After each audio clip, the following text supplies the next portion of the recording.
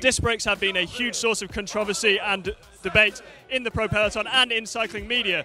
But what better place to get the actual opinion on whether or not they should be used in the race than the pro peloton? And what better place to ask the question than stage one of the 2017 Giro d'Italia?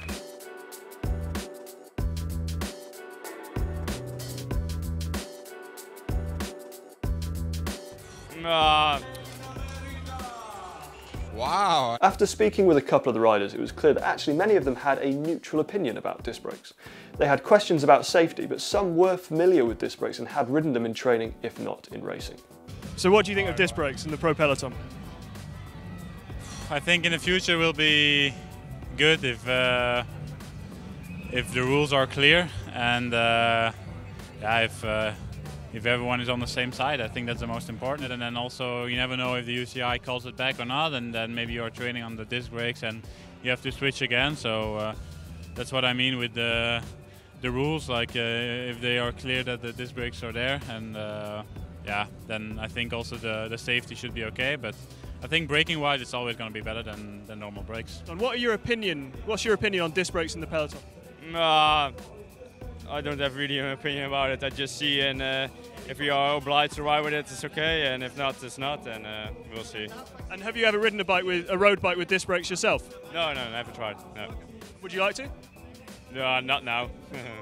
Yeah, I think uh, when you make them safe, it's a lot better braking power, a lot better braking power. You know, I used to race uh, disc brakes on my gravel bikes, so uh, to me, I think uh, at the end we will use disc brakes. I hope they can make the bike 6.8 kilos with it because I'm a weight weenie too, you know. But uh, that's something up to the frame builders and uh, and Shimano itself. As you've heard, the riders in the Pro Peloton didn't really doubt that disc brakes do offer better braking than rim brakes, although safety concerns remained, especially regarding the cut to Owain Doull's shoe at the Abu Dhabi Tour, an incident which at the time Doull put down to a disc brake. Honestly, there, has been a lot of confusion because uh, we didn't understand yet if the shoes was cut by a disc brake or not.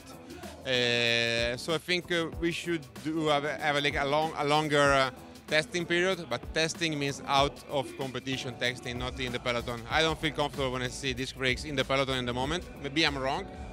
I would like uh, to have some uh, like some sure uh, some sure tests made to be sure that they are safe. Caley Fretz, our very good friend at Velo News, who you may recognise from a few GCN tech videos, actually put this to the test after the event. There you have it. Has trouble cutting a shoe. Has trouble cutting a saddle, a leather saddle. Uh, has no trouble with cardboard. You two, I think, are the only riders at this year's Giro racing discs. So can you tell us why that is, or at the first stage of this year's Giro racing discs? Well, I think for me, it's just the feeling of the bike is uh, the bike is much stiffer. Braking is always good.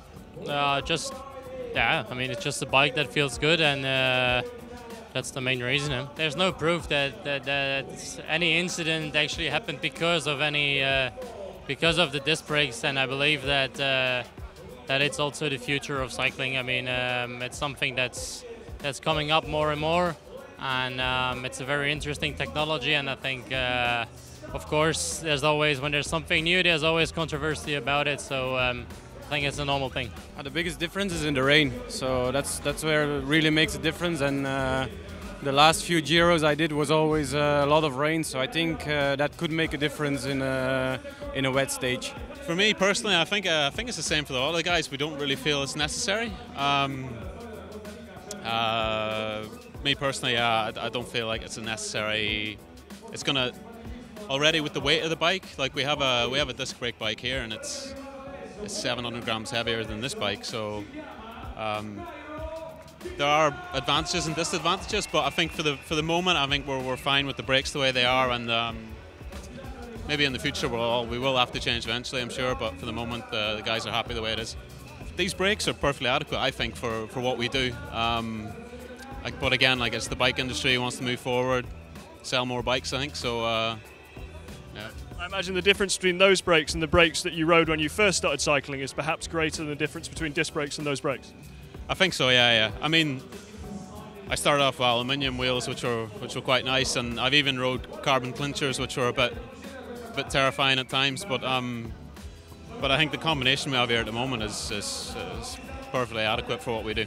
We're doing a video about disc brakes in the Pro Peloton, and we know that you use them a lot when you're out training. What do you think? What's your take on using them at races? I don't know. Certainly for training, they're amazing. Um, it's it's kind of strange going back to the rim brakes, but um, yeah, I don't know.